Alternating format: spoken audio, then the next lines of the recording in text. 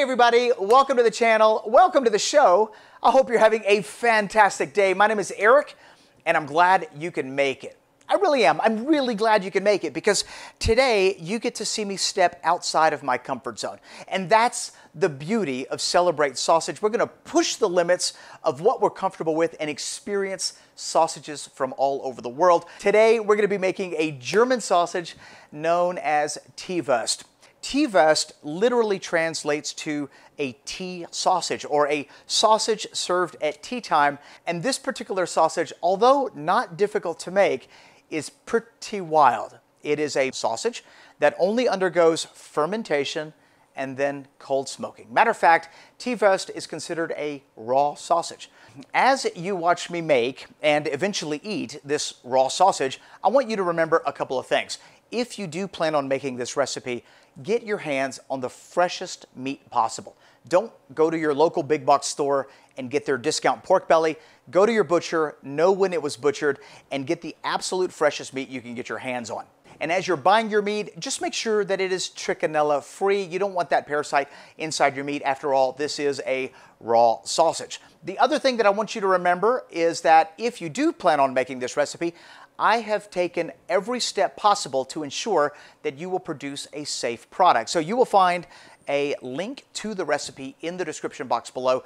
And if you follow my recipe with good quality fresh meat, you will produce a safe product. With that being said, let's make Teewurst. The selection of meat for this sausage is relatively important because it's a spreadable sausage. And so it's going to have a slightly higher fat content than uh, your typical sausages. Now, the first cut I'm going to be using is a portion of the pork belly that has a lot of soft fat around it. And so that's going to be this piece right here. And notice the fat is pretty soft. And the other piece of the pork belly that we're going to be using comes from a segment of the belly where the fat is more firm. All right, so let me just cut this right fast. And you can visibly see that the fat is more solid. And we're going to be using that right here. In addition to the pork belly, we're also going to be adding pork shoulder a little lean beef, and then we're going to add some extra pork fat. So if you look at the recipe in the description box below, you're going to notice that the fat content is something like 45 or 50%. And that's primarily the reason why this sausage is so spreadable. Now, I'm using back fat in the recipe, but you can easily use leaf fat, which is the fat used to make lard. And that also makes a really nice spreadable Teewurst. So whatever fat you choose to use, not a big deal. We're making a kilo today. This is going to go into the freezer and then we're going to grind it.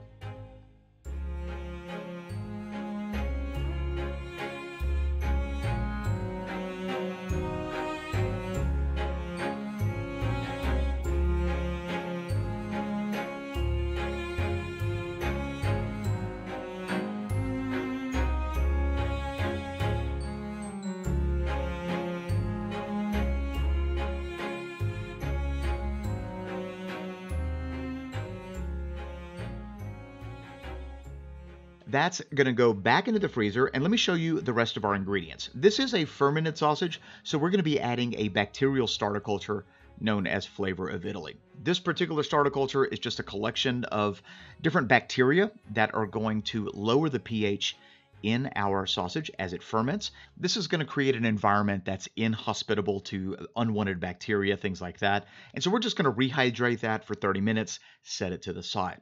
As far as the spices go, we're going to add salt. We're going to add some cure number one, which is going to cure our sausage and keep it safe. We're next going to add some white pepper and some allspice.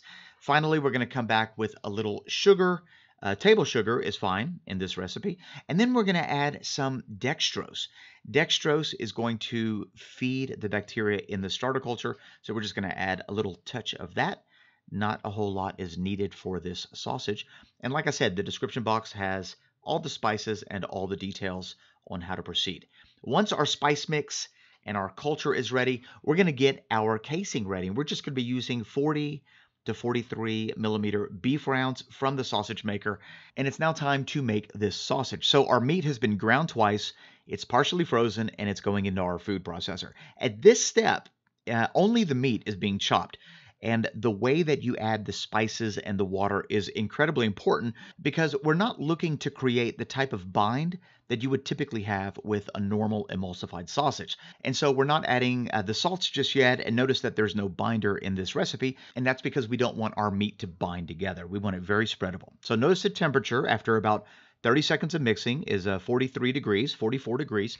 And so now that it's been chopped up, we're going to go ahead and add the ice that the recipe calls for. We want to keep the temperature of the meat below 50 degrees Fahrenheit. So we've added our ice. That's going to cool it down. We're just going to keep chopping for another 20 seconds or so. That's going to break the meat and the fat particles down to create one really nice smooth farce. So after another 20 seconds of chopping, all right, we're at 42 degrees, 41 degrees.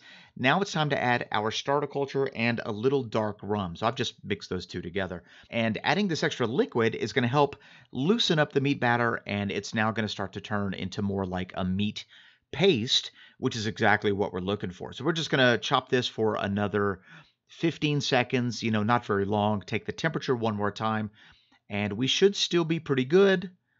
45 and a half Fahrenheit, absolutely perfect. This is the very last step. We're now going to finally add our spices. And adding your spices, you know, your salt and all the other ingredients at the very end is absolutely critical for the sausage because if you add it too soon, you're going to extract a protein called myosin, which is going to actually aid in the binding process. And we don't want that. So we're just going to chop this for another five seconds or so just to incorporate those spices. And now our farce is complete. This is what it should look like. And now it's time to stuff it into its casing. So we're using 40, 43 millimeter uh, beef middles whatever casing you have on hand, you know, I would go with at least 40 millimeter, but you could go bigger if you'd like. Uh, at the end of the day, you know, we're going to be pulling it out of the casing and then spreading it on some bread or toast, which is typically how it's served. So we're just going to go ahead and tie that casing off using a bubble knot and then get that mince inside the casing as we get this ready for the fermentation stage. During the fermentation stage, the bacteria that we added will begin to consume the sugar that we added and they will release lactic acid. And that's what's going to lower the pH of our meat, making it a safe product. So I'm going to take a little bit of the mince that was left in our hopper and just wrap it in some cellophane. Now, this is what we're going to use to test the pH of our meat uh, when it comes time for that. So at this point, I'm just going to tie off the sausage and it'll be ready to ferment. And I think you're going to love how I ferment this sausage because it is incredibly easy. So here's what we're going to do to ferment this sausage. We're going to cover it with some cling film and then we're going to leave it on our kitchen counter overnight. And that is it. We're able to do this because my kitchen's pretty warm. It's about 75 degrees Fahrenheit. And so the total fermentation time is 18 to 24 hours 75 to 85 Fahrenheit or 24 to 29 Celsius is the ideal temperature it should be in with a 90% humidity. The cling film that we added is going to keep the humidity level high. And if you have a relatively cool kitchen, you can always place this inside of an oven with the light on to satisfy the temperature requirement. During the last 8 to 12 hours of the fermentation stage, we're going to place this into our cold smoker. And by the time we're done, our target pH should be somewhere between 4.9 and 5.1. So it's now the next day. It's been sitting on my counter for roughly 12 hours. And now we're just going to go ahead and pop this into our smoker and apply cold smoke. Now that's smoke that's under 90 degrees Fahrenheit. It's important that it's under 90 degrees Fahrenheit because we don't want to cook this sausage. We just want to give it a really nice smoky element. And we're going to leave it in there for another eight hours. So we're going to cold smoke this for eight hours. This is what it's going to look like by the time we are finished. The entire time it's been smoking, it's also continuing to ferment. And so we're now going to test the pH of this sausage to determine whether or not it's ready. Remember that our target pH is going to be anywhere between 4.9 and 5.1. And the easiest way to test your pH when you're making fermented meat products is to use a pH meter. We're using a pH meter by Apera Instruments. We're just going to stick it right on in there. And remember, 4.9 to 5.1, we're right in the middle. This is absolutely perfect. So our Teewurst is officially ready, and it's now time to eat it.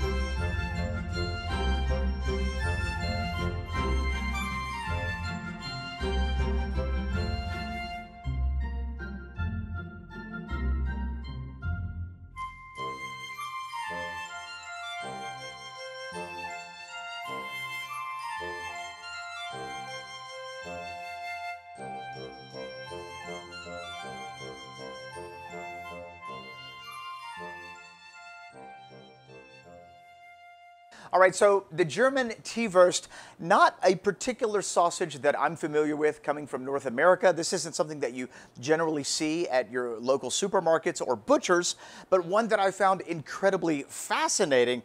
Let me explain to you what I'm looking at right now. The, the color is very, very pink. It's very soft, and even at room temperature, it's softening up quite a bit more as that fat is just slowly loosening everything up. The smell of it smells smoky, which is to be expected. You get the combination of different spices that are inside. It smells quite pleasant. And I can genuinely say that I have never eaten raw pork in my life. Bottoms up. Mm-hmm.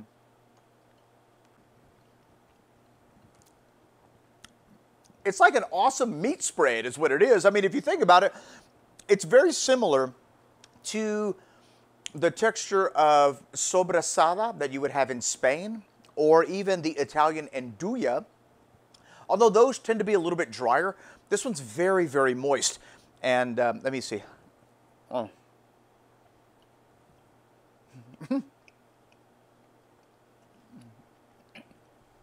That's delicious.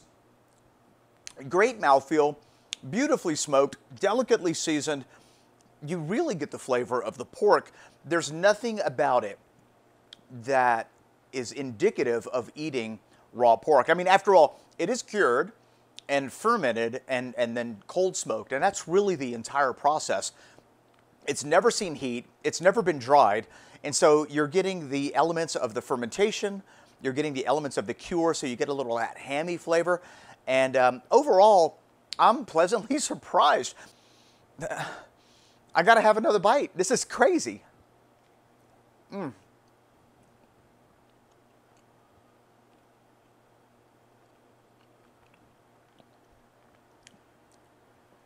Not a sausage I normally would go for, especially if somebody were to explain it to me.